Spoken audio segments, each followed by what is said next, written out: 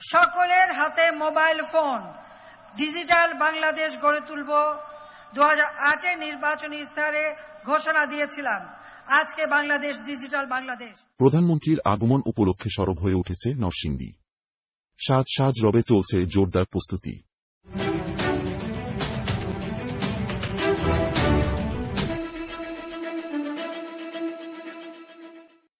ঘোড়াশাল পলাশ urea fertiliser প্রকল্প এর শুভ উদ্বোধন উপলক্ষে আসছে বারো নভেম্বর প্রধানমন্ত্রী শেখ হাসিনার আগমনকে সামনে রেখে সাজ সাজ রবের সাজতে নানা আয়োজনে সরব হয়ে উঠেছে নরসিংদী।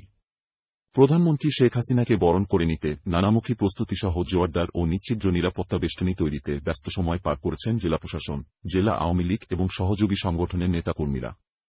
প্রকল্প উদ্বোধন শেষে স্থানীয় স্টেডিয়ামে জেলা আওয়ামী লীগ আয়োজিত জনসভায় বক্তব্য রাখবেন বলে দলটির স্থানীয় হেভিওয়েট নেতৃবৃন্দ ও জেলা প্রশাসন সূত্রে জানা যায়।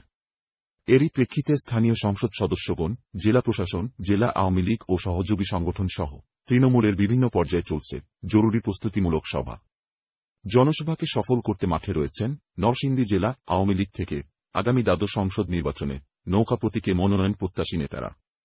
নরসিংদীতে প্রধানমন্ত্রী শেখ হাসিনার এই জনসভা হবে ইতিহাসের বৃহত্তম জনসভা। পাঁচ নভেম্বর নরসিংদী ক্লাবে অনুষ্ঠিত সভায় জেলা থেকে ইউনিয়ন পর্যায়ের আওয়ামী লীগ ও সহযোগী সংগঠনের নেতাদের এর আহ্বান জানান ঢাকা বিভাগে দায়িত্বরত সাংগঠনিক সম্পাদক মির্জা আজম এমপি। অপরদিকে এক নভেম্বর বুধবার সন্ধ্যায় জেলা প্রশাসক কার্যালয়ের সম্মেলন কক্ষে জেলা প্রশাসক ড বদিউল আলমের সভাপতিত্বে এক সভা অনুষ্ঠিত হয়। সভায় নরসিংদীতে প্রধানমন্ত্রীর এই সফর সফল করতে প্রয়োজনীয় সকল ব্যবস্থা গ্রহণে নরসিংদী জেলা প্রশাসন সদা তৎপর ও প্রস্তুত রয়েছে বলে জানান তিনি। এ সময় police super Mustafizur Rahman, TPM সহ সরকারি বিভিন্ন দপ্তরের কর্মকর্তারা উপস্থিত ছিলেন। এদিকে প্রধানমন্ত্রীর আগমন উপলক্ষে নরসিংদীতে দায়িত্বপ্রাপ্ত সরকারি সকল দপ্তরের কর্মকর্তা কর্মচারীবৃন্দ দিন রাত পরিশ্রম করে যাচ্ছেন। রাস্তাঘাট সহ সকল স্থাপনায় ঘষামাজা চুনকালির কাজ নিয়ে ব্যস্ত সময় কাটাচ্ছেন তারা। নির্দিষ্ট তারিখের আগেই সকল প্রস্তুতি সম্পন্ন হবে বলে আশাবাদ ব্যক্ত করেন তারা। চেতনা টিভি।